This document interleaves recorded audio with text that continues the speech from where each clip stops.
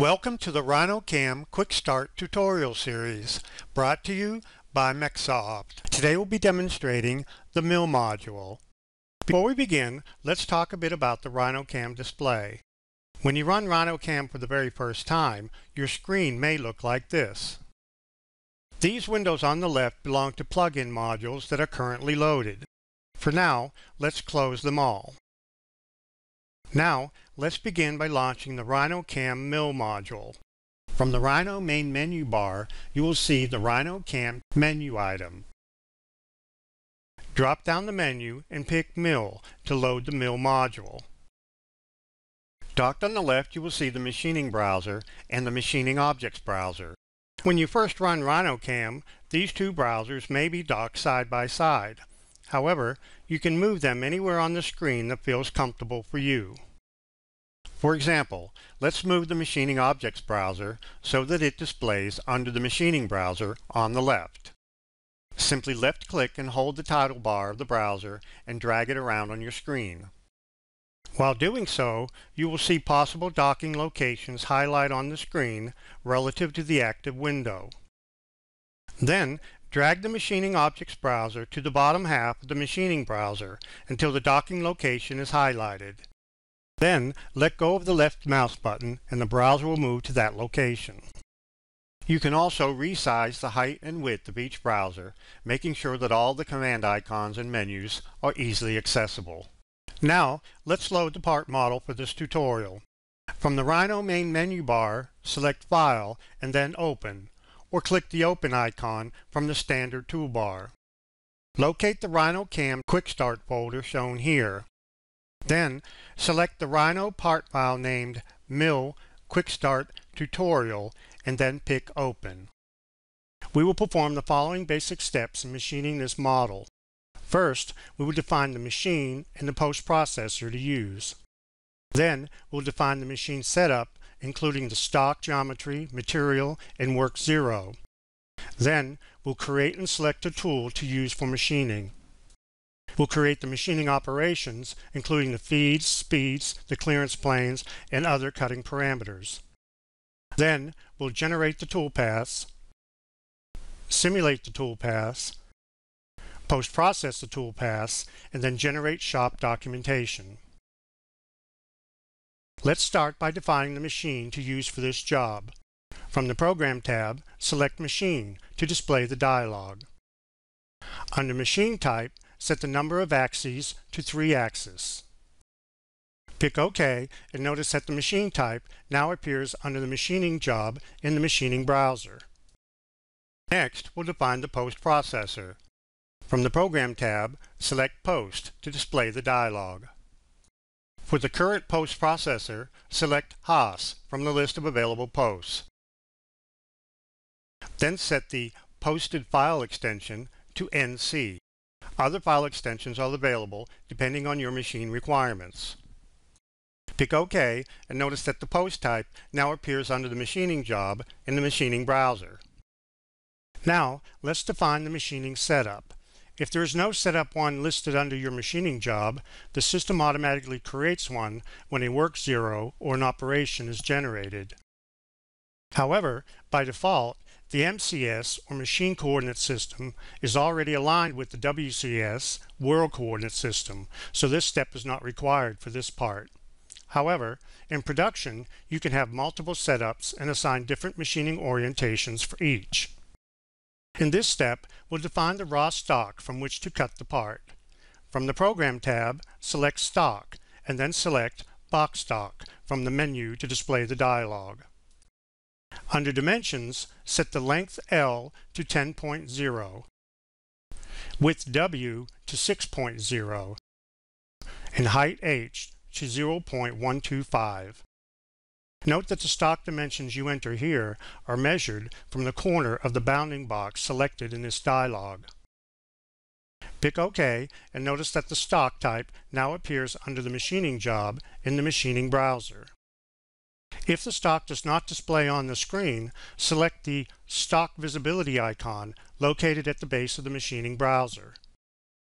Once the stock model is created, you can move it in alignment with the part if needed. From the Program tab, select Align, and then Align Stock from the menu to display the dialog. For Z alignment, select Top, and for XY alignment, select Center, and then pick OK. The stock is now aligned to the center of the part in the XY and the top of the part in Z. Next, we'll set the material for the stock geometry. From the Program tab, select Material to display the dialog. For material, select wood from the list of available materials and then pick OK. If the material texture does not display on the stock, select the Material Texture Visibility icon located at the base of the machining browser. Now that the stock is aligned to the part geometry, in this step we will establish the work coordinate origin. This location defines the zero point from which all toolpath points are interpreted by the controller. From the Program tab, select Align, and then Set World CS. Then select Set to Stock Box. Then set Zero Face to Highest Z and Zero Position to Southwest Corner. This sets the machine home to the top of the stock material and the southwest corner of the stock geometry. Pick OK and the part and stock geometry are now transformed to the World Coordinate Origin, or WCS. Alternatively, you can use Work 0 to set the Work Coordinate Origin. Instead of moving the part and stock to the WCS origin, this moves the machine coordinate system origin to the specified location. From the Program tab, select Work 0 to display the dialog. Select set to stock box. Then set zero face to highest Z and zero position to southwest corner. This sets the machine home to the top of the stock material in the southwest corner of the stock geometry. Now pick Generate and notice that the MCS is translated and that the Work 0 now appears under Setup 1 in the machining browser. To machine the part, we will now create a 1 half inch flat end mill. From the Tools tab in the Machining Objects browser, select Create Edit Tools to display the dialog. Select the Flat Mill tool icon. Then set tool name as Flat Mill 0.5 in the tool diameter to 0.5. Under the Properties tab, set Material to HSS and set the tool number to 1. Now switch to the Feeds and Speeds tab and pick Load from File to display the dialog. From here, set Stock Material to Wood and Tool Material to HSS. Pick OK and the computed cut feed rate and spindle speeds are transferred to the Speeds and Feeds tab of the Tool dialog. Now pick Save as New Tool. The tool is created and listed under Tools in Session on the left. Pick OK to close the dialog. Notice that the new tool is also listed under the Tools tab of the Machining Objects browser. Now we're ready to create our first profiling operation. From the Program tab, select Two Axis, and then Profiling from the menu of Two-Axis Operations. This will display the 2 and 1 half axis profiling operation dialog. Under the Control Geometry tab, pick Select Curve Edge Regions. The dialog is minimized and allows you to select three inside hole features to machine. Select the first region by picking the top edge of the larger center hole. Repeat this step for the two smaller hole regions. Press Enter or right-click to end the selection. The 2 and 1 2 axis profiling dialog comes back up, displaying the selected drive regions. They're also highlighted on the part. Notice that selecting a drive region from the list highlights the corresponding surface edge curve on the part. Now we switch to the Tool tab of the dialog. Select Flat Mill 0.5 under Tools. The 0.5 inch flat end mill is now selected as the active tool. Note that the tool parameters of the currently active tool are always displayed in the status bar at the bottom of the Machining Objects browser. Now switch to the Feeds and Speeds tab. Select the Load from Tool button. RhinoCam will retrieve the feeds and speeds parameters that were set when the tool was defined and associate them with the current operation. Next, we'll switch to the Clearance Plane tab. Set the clearance plane definition to automatic and the cut transfer method to clearance plane. In the automatic mode, RhinoCam will determine a safe Z height for locating the clearance plane. Setting the cut transfer method to clearance plane will force all transfer moves to be performed in this determined clearance plane. This dialog is active, the clearance plane is shown on the graphic screen. Now we switch to the Cut Parameters tab to control the cutting. Set the stock to zero. This means that we will not be leaving any thickness on the part after machining. Under the Cut Start Side section, check the box next to Use Outside Inside for closed curves, and then select Inside. Alternatively, you could use the Determine using 3D Model option. In this case, RhinoCam would use the 3D model to determine which side of the curve to place the cutter for machining. Now, select the Cut Levels tab and set Location of Cut Geometry to At Top. Enter 0.125 for the total cut depth. The cut depth is always set as an absolute value. This automatically sets the rough depth and rough depth per cut to 0.125. Next, we select the Entry-Exit tab. Entry-exit parameters control how the cutter will engage material as it begins cutting and how it leaves the material as it completes cutting. Set entry and exit motions to none. Now pick Generate. The 2 and 1 half axis profile toolpath is generated and the operation is listed under Setup 1 in the machining browser. The toolpath is also displayed in the graphics screen. Note that the display of the toolpath in the graphics screen can be turned on and off by selecting the toolpath visibility icon located at the base of the machining browser. The new toolpath can now be simulated to display the in-process stock model. Switch to the Simulate tab at the top of the machining browser. Under Preferences, uncheck Simulate by Moves and adjust the slider to set the simulation speed and then select Play from the Simulation tab.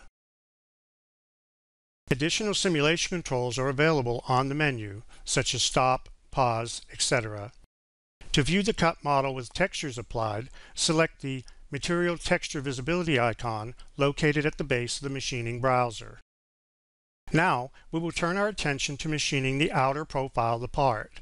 Again, we will create a simple profile toolpath, this time around the outer periphery of the part. Switch to the Program tab in the Machining browser. Select the 2 and 1 half axis profiling operation we just created. Right-click on the selected operation and select Copy. Now, right-click again and select Paste. This creates a copy of the operation and places it below the original in the machining browser. Now, right-click on the second operation and pick Edit to adjust its parameters. Pick Remove All under the Control Geometry tab.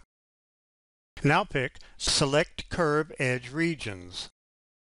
Select the top outer surface edge of the gasket and then right-click or press Enter to end the selection.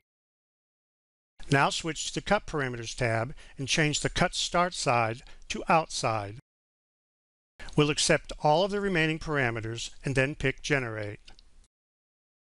The new 2 and 1 half axis profile toolpath is generated and displayed on the graphic screen.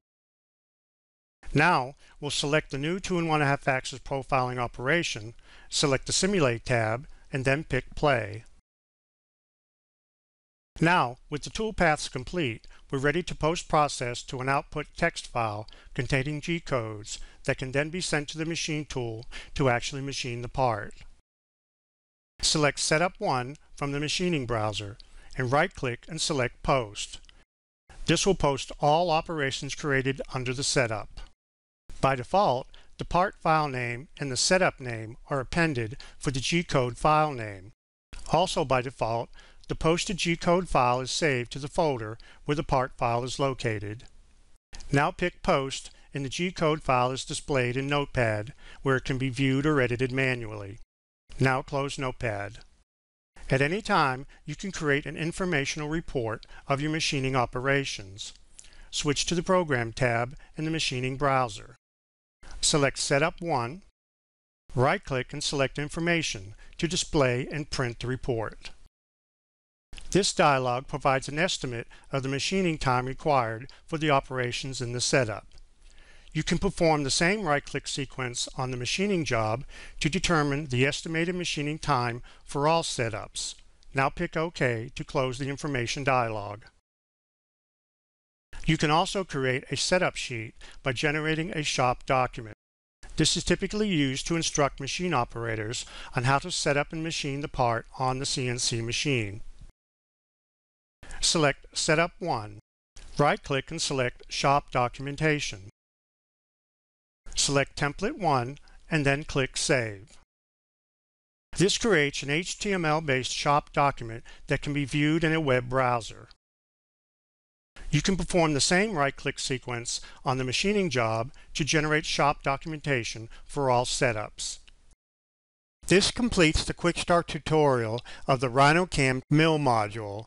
For further assistance, you can visit the online help supplied with the program or visit www.mecsoft.com for additional tutorials.